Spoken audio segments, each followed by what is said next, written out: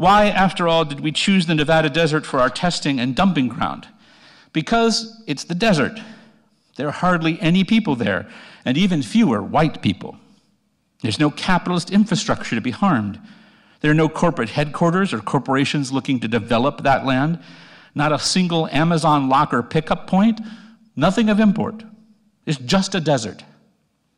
As just a desert, it doesn't appear as ethically significant. After all, if some cacti, snakes, deer, and Indians get nuked a bit, so goes the thinking, that makes a lot more sense than doing the tests in downtown Las Vegas, right? That's just pure common sense, which is a code word for utilitarianism, the greater good for the greater number of people. And in the spirit of dumping our worst garbage underground, let me make it clear that I have come to bury utilitarianism, not to praise it. For the bloody math of the utilitarian calculus always and inevitably works out this way. Another publicized case was that of the Hiroshima maidens. 25 scarred women from Hiroshima were invited to the US in 1955 to receive reconstructive surgery free of charge, thanks to many good willed people who donated their time and skills. While some historians saw American benevolence in hosting those women, other scholars have pointed out that the message the media dis- disseminated was not about the plight of the women or the horror of nuclear weapons. The case was viewed as an opportunity to promulgate a new identity for post war US citizens that of white, middle class, Christian, generous, suburban, heterosexual, nuclear families.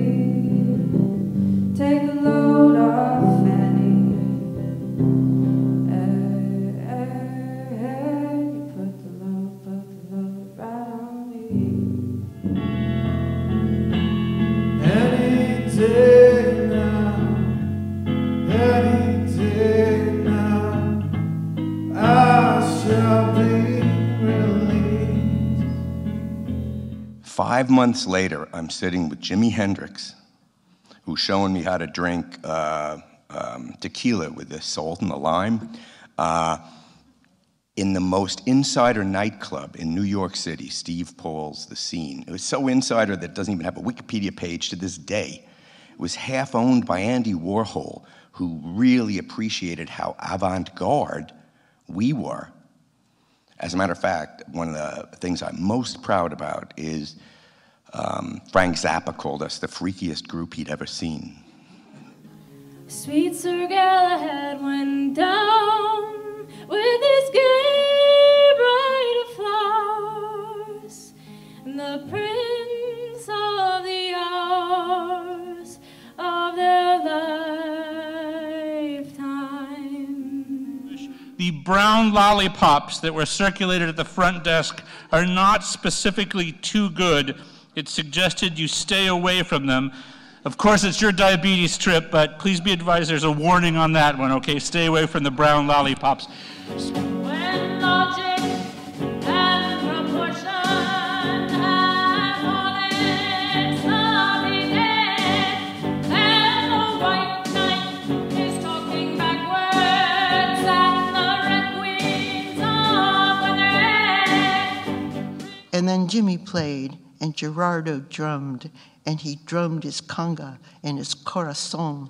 And the day opened, and we all went home with a heart full of amazement and love, not to mention pride. I was 25. Now I'm 75. I'm still alive and still amazed and still a part of the Woodstock nation and unique combination of memory and awakening as the ground was shaking. The point I'm making is that, that almost half a million of the Woodstock nation are fathers and mothers and grandmothers and grandfathers and sisters and brothers, and there's no taking that back, and that's a fact.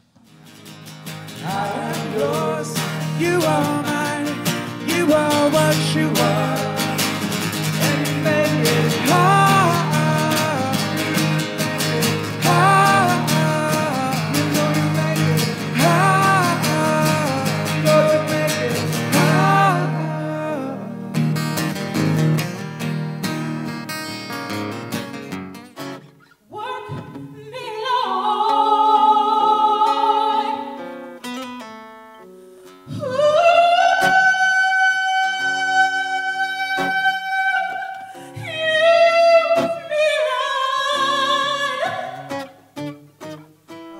Was also in the Young Lords, and we were fighting for rights. We were fighting for women's rights. We were fighting for the ERA. We were fighting for women to control their own bodies. We were fighting for religious freedom, ethnic freedom.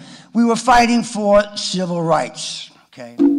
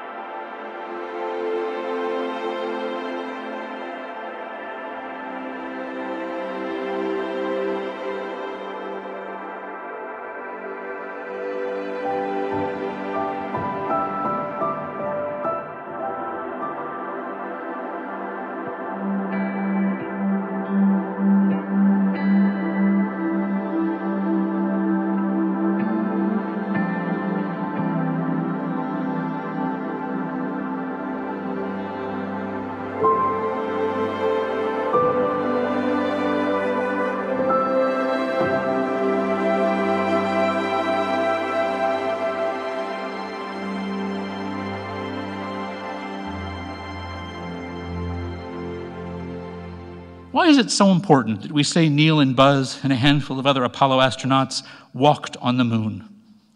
Why is that first step of Neil so important? The image of Buzz's boot print in the lunar soil so iconic. Perhaps there's nothing we prize more as humans than our upright posture, but I believe it's more than this. After all of the technology, after the Saturn V devoured more than 40,000 pounds of fuel per second at ignition, after the onboard AGC and DSKY jumped us ahead into the computer age, after the countless inventions and countless solutions to countless technical problems, the ultimate goal of Apollo was to go somewhere and take a walk, to stretch our legs, amble about a bit through the chalky powder of it all.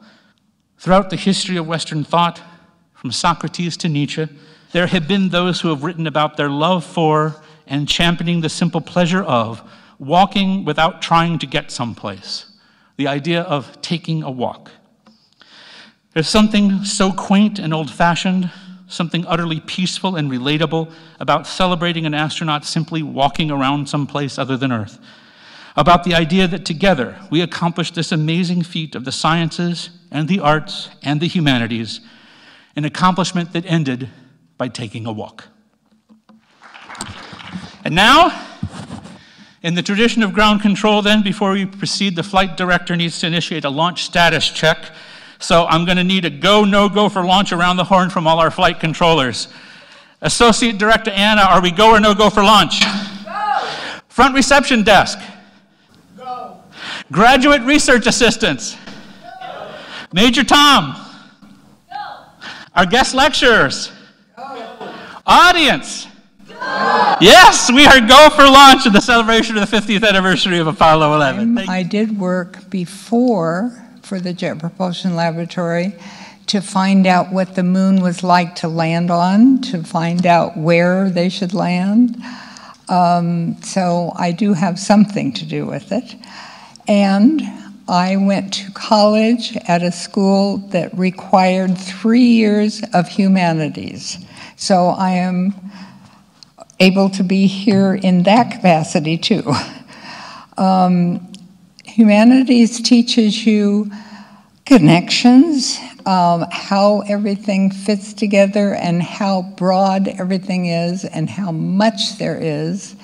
And that's what you need to know for system engineering. You know how need to know what's going on and how to keep it going on together. Uh, thank you for inviting me, um, and thank you all for uh, coming out tonight. Um, um, one of the most famous uh, images from the Lunar, Lunar Orbiter program um, is this one uh, on the right. It's a view inside the Copernicus crater uh, that uh, was billed by NASA as the picture of the century. Um, they, they released it, you know, as to promote uh, the program. Um, and it, it, what you see is a barren, mountainous landscape. But what was interesting about it was that it's the, from the point of view of someone standing on the lunar surface. So it really gives you this sense of uh, the, the geography of the moon, the idea that someday, soon, someone, a human being, will actually be standing there and looking at it as we would look at a landscape.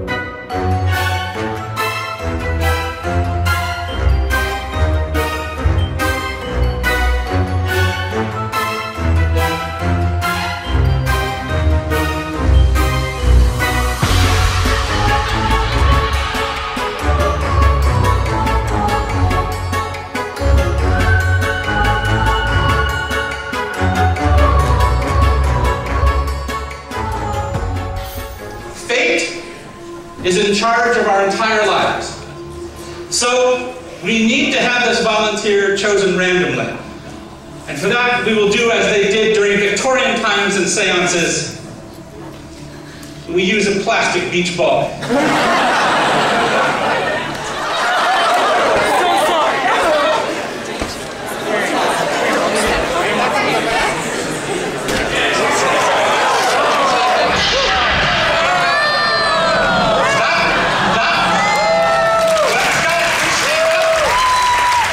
Your name is? Estre? Estre, please. Would you please have a seat?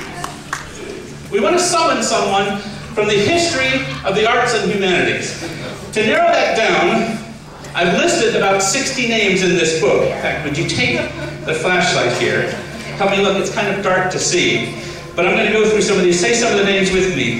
Mary Shelley. Leo Trotsky, Orson Welles, Arcus, uh, El- Emily Bronte, Jane Austen, Pablo Picasso, Charles Dickens. All right? So any place you want, lift it up and take a beat. You ready? Go. You got it? Okay, close it. I want you to picture this person.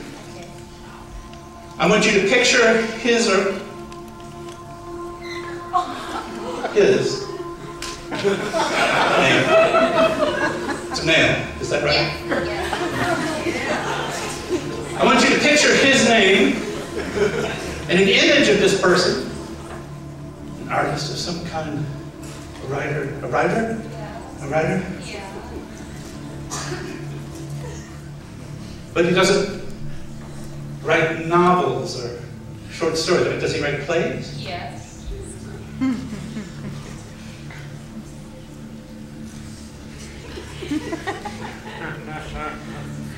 I'm feeling the presence of William Shakespeare in here. Is that- Don't say anything until you're instructed, but open yourself up to a physical manifestation. Are you ready? Yeah.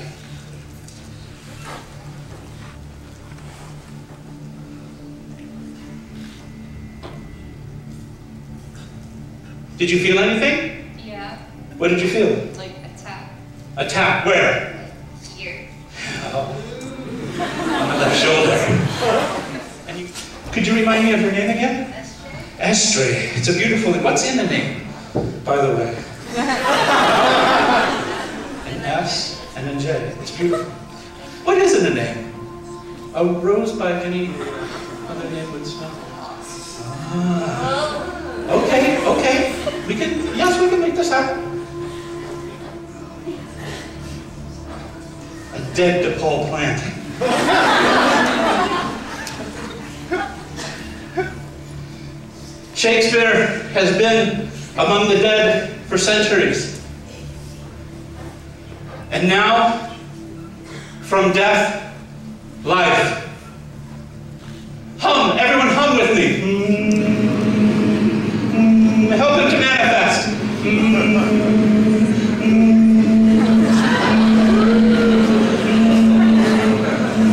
From death there is life.